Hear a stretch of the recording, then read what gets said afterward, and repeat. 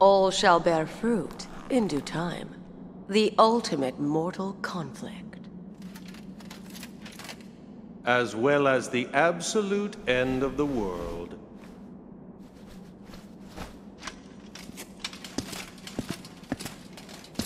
Perhaps the only thing that is out of our reach is the whimsy of the gods.